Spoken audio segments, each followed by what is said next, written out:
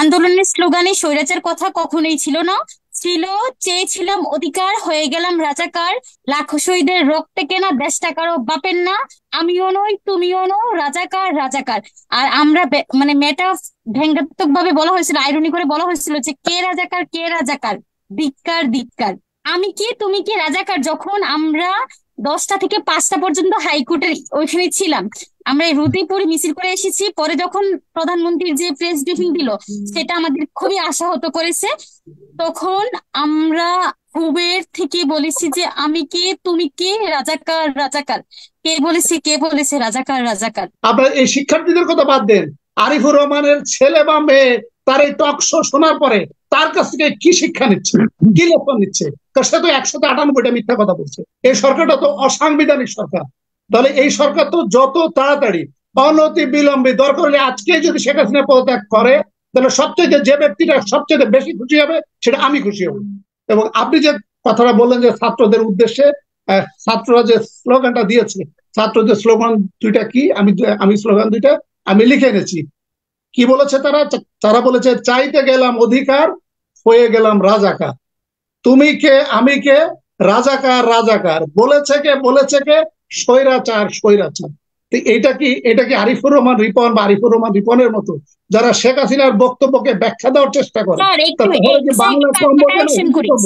Sir একটু correction করি। Sir sir আমাদের আন্দোলনের স্লোগানে স্বৈরাচার কথা কখনোই ছিল না।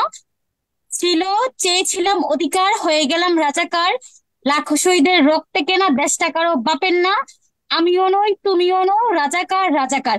আর আমরা মানে মেটা ভেঙ্গাত্মক ভাবে বলা হয়েছিল আইরনি করে বলা হয়েছিল যে কে রাজাকার কে রাজাকার? ধিক্কার ধিক্কার। আমরা আমরা কেউ নিজেদেরকে রাজাকার প্রমাণ করব আমি কে তুমি কে রাজাকার রাজাকার? এই স্লোগানটা আসলো থেকে আমি কি তুমি কি রাজাকার? যখন আমরা দশটা থেকে পাঁচটা পর্যন্ত হাইকোর্টের ওইখানে ছিলাম। আমরা রুদিপুর মিছিল করে এসেছি। পরে যখন প্রধানমন্ত্রীর যে প্রেস ব্রিফিং দিল সেটা আমাদের খুবই আশাহত করেছে। তখন আমরা হুবের থেকে বলেছি যে আমি কে? তুমি কে? রাজাকার রাজাকার। কে বলেছে? কে বলেছে? রাজাকার রাজাকার। ধিক্কার জানাই এই কথার। আপনারা ওটা খুব থেকে বলেছেন। ঠিক ঠিক আছে ধন্যবাদ। শুধু একটু বলি শুধু নয়নমণি এই যে আপনি আপনি যে একটা স্লোগানের কথা বলেছেন কি আমরা কি বুঝেই বলেছি? না বুঝেছি? যে দেশটা কি কারও বাপদাদার? আপনাকে কিন্তু মাথায় রাখতে হবে যে আপনি স্লোগানটি কাকে বলছেন? আপনাকে মাথায় নিতে হবে। প্রধানমন্ত্রীর মন্তব্যের প্রেক্ষিতে তারা এটা বলেছে। যে প্রতিক্রিয়া বলেছে। আচ্ছা জনাব রিপন আমি আসছি আপনার কাছে। নয়নমণি আমি আসছি।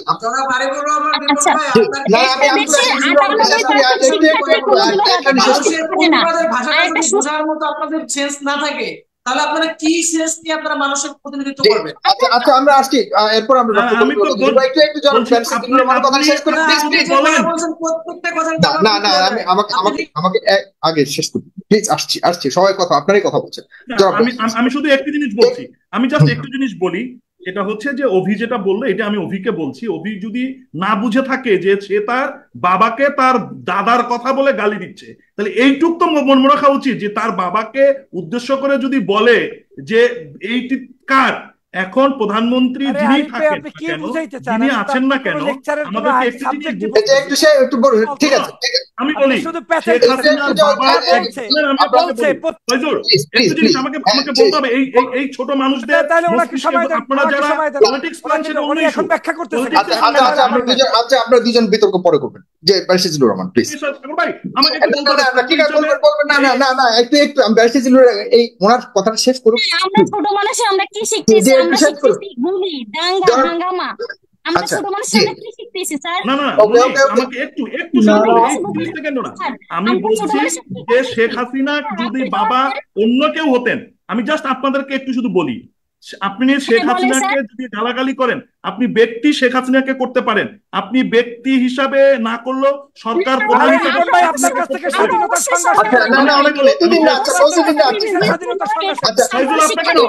যখন বাবার কথা উঠিয়েছেন আপনি যখন বাবার উঠিয়েছেন মনে রাখতে হবে বঙ্গবন্ধু এদেশের প্রতিষ্ঠাতা বঙ্গবন্ধু সুন্দর নির্বাচনে বলুন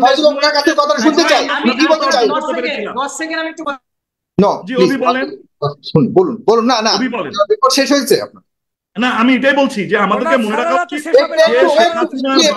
উচিত বঙ্গবন্ধু। আপনি কি বঙ্গবন্ধুকে অস্বীকার করেন অভি? নয়নমণি আপনি কি বঙ্গবন্ধুকে অস্বীকার করেন? বঙ্গবন্ধু মুক্তিযুদ্ধ আপনি ভিন্ন পথে নিয়ে যাচ্ছেন আপনি বাপ দাদা কারও বাপ দাদার না এটা আপনি বলছেন কেন? ওকে আপনি জনাব জিলুর রহমান এক লাইনে শেষ করুন না আরিফুর রহমান রিপন তারা যেটা বলেছে বাপ দাদা সম্পত্তি নয় এটা তো সত্য কথা। কারণ আপনি রাষ্ট্রীয় কাঠামো শেখ হাসিনার কথা বলে তো বলছে রে ভাই আপনি কেন এটা আমি তো ওই জায়গাটাই বলছি যে কেউ তাদেরকে বিভ্রান্ত করছে। আমার কোমলমতি বাচ্চারা বুঝতে পারছে না। আপনাদের মতো মানুষরা তাকে বিভ্রান্ত করছেন। আমি সেটাই বলছি যে আপনি যখন আমাকে গালি দেবেন তখন আমি যে আপনার কমলমতি শিক্ষার্থীরা তাদের অধিকারের জন্য রাজপথে নেমে এসেছে। তাদেরকে নামতে আপনারা বাধ্য করেছেন। কমলমতি শিক্ষার্থীরা আপনাকে সেটা তো বলছে, আপনাকে তাদের সাথে কি সরকার আচরণ বলছে। করেছিল? আমি ওকে আপনাকে বাইরে অভিযোগ জিলুর রহমানকে করি। আমি একটু শেষ করি আমার আমার আমার প্লিজ আমার অনুষ্ঠানটাকে একটু শেষ করতে দেন জনাব আমি বাইরে যেটা হলো যে আমাদের আওয়ামী যারা আওয়ামী যারা বুদ্ধিজীবী বা লেসপেন্সাররা আসে তারা যে এই যে আন্দোলনটাকে বারবার বলছে যে মানে কেউ তাদেরকে বিপথে পরিচালিত করছে আমি স্বীকার করছি আমি দায়িত্ব নিচ্ছি আমি ছাত্রদেরকে উস্কানি দিচ্ছি কারণ এই সরকারটা তো অবৈধ সরকার এই সরকারটা তো অসাংবিধানিক সরকার তাহলে এই সরকার তো যত তাড়াতাড়ি অনতি বিলম্বে দরকার হলে আজকে যদি শেখ হাসিনা পদত্যাগ করে, তাহলে সবচেয়ে যে ব্যক্তিটা সবচেয়ে বেশি খুশি হবে, সেটা আমি খুশি হব। আমি দায়িত্ব নিচ্ছি, আমি ছাত্রদেরকে, আমি উস্কানি দিচ্ছি এবং ছাত্রদের এটা বৈধ আন্দোলন। আমি মনে করি শেখ হাসিনার শেখ হাসিনার সরকারে থাকার কোনো বৈধতা নাই।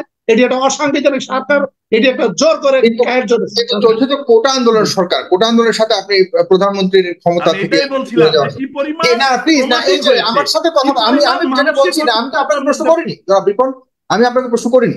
আমি ওনাকে করছি প্লিজ যে আপনি যে প্রশ্নটা করেছেন কোটা আন্দোলনের মানে মানে কোটা আন্দোলনের জন্য ছাত্ররা করছে কিন্তু সেটাই তো আমাদের আরিফুর রহমান রিপন তথা আমি বুদ্ধিজীবী। তারা বলছে এটা কেউ না কেউ উস্কানি দিচ্ছে। মানে সবকিছুতে তারা ষড়যন্ত্র পাচ্ছে সবকিছুতে তারা উস্কানি পাচ্ছে। তার মানে আপনি যখন অবৈধভাবে যখন পরকীয়া প্রেমে লিপ্ত থাকেন তখন সব সময় কিন্তু আপনার একটা ভয় ভয় কাজ করে। যে কখন আমি ধরা খেয়ে গেলাম কখন আমি গণপিটুনি খেলাম। যার জন্য সারাক্ষণ একটা আতঙ্কে থাকে এই জন্য কোনো একটা বৈধ আন্দোলন যদি হয় একটা যৌক্তিক আন্দোলন যদি হয় তখন তারা ষড়যন্ত্র খোঁজে কখন আচ্ছা। এবং তাদেরকে বিপথে পরিচালিত করছে। এবং এইটার কারণে আপনি ছয়জন ছয়জন ছেলে মেয়েকে আপনি হত্যা করবেন? এই যে এই যে দেখেন আমাদের একজন শিক্ষার্থী আমাদের একজন শিক্ষার্থী আরিফুর রহমানকে উদ্দেশ্য করে বলল যে আপনাদের কাছ থেকে আমরা কি শিখছি? আপনারা এই শিক্ষার্থীদের কথা বাদ দেন। আরিফুর রহমানের ছেলে বা মেয়ে তার এই টক শো শোনার পরে তার কাছ থেকে কি শিক্ষা নিচ্ছে? কি লেসন নিচ্ছে? কারণ সে তো একশোতে আটানব্বইটা মিথ্যা কথা বলছে। তা আমি আমি সর্বশেষ আমি আমি কথা বাড়াতে চাচ্ছি না। আমি যে আমি এই মুহূর্তে আমি বলি আমি- না, না, না, হ্যাঁ। আমি আমি আমি এই মুহূর্তে আমি যেটা যেটা আমি দাবি তুলছি জনগণের এবং স্টুডেন্টদের উদ্দেশ্যে এবং জনগণের উদ্দেশ্যে সেটা হলো যে আমি পাঁচটা দাবি তুলছি। প্রথম দাবি হচ্ছে মুক্তিযোদ্ধা কোটা সম্পূর্ণ বাতিল করতে হবে। কোনো জিরো জিরো ওয়ান পার্সেন্টও না কারণ এটা আইনে নাই সংবিধানে নাই। অন্যান্য কোটা পাঁচ থেকে দশ পার্সেন্টে নামিয়ে আনা যেতে পারে। দুই হচ্ছে পাচার সমস্ত টাকা ও পাচারকারীদের তালিকা প্রকাশ করতে হবে। সর্বশেষ রিজার্ভের nine point two six billion dollar কোথায় লুকিয়ে রেখেছেন সেটা বাংলাদেশ ব্যাংকে জমা দিতে হবে। তিন হচ্ছে ভারতের সাথে স্বাধীনতা সার্বভৌমত্বের রেল চুক্তি বাতিল করতে হবে। চার হচ্ছে ওবায়দুল কাদেরকে ছাত্র লীগকে হত্যা নির্দেশ দাতা হিসেবে দণ্ডবিধির একশো নয় এবং তিনশো দুই ধারায় ফৌজদারি মামলা রুজু করে তাকে অনতি বিলম্বে পারলে আজকে এই আগামী এক সেকেন্ডের ভিতর। তাকে গ্রেপ্তার করতে হবে।